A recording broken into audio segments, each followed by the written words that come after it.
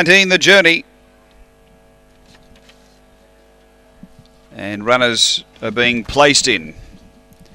Last few being locked away, and we're just about right. In fact, signal given. Best of luck, putters. Race 10 here at Strathalbyn. We're set to run.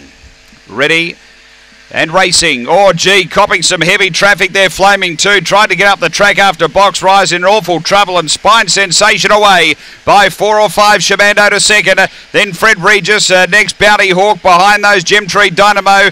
Uh, then Flaming two and Spring Vader. But it's spine sensation down the running. It wins well. Spine sensation first. Shamando second. Bounty Hawk third. Uh, Fred Regis fourth. Then Gemtree Dynamo Flaming two. And Spring Vader copped the uh, sort of backwash early of. Uh, the red runner was back at the tail end. The run here is 18.23. Spine Sensation, Bosco Stamenkovic, another one today. Uh, Black Dog, August 2015, solved the puzzle. Enid's Charm, number four. Uh, second, going to six Shamando, Tony Rasmussen. A uh, uh, Black Dog, August 2016, Fernando Bale, Shimaguni.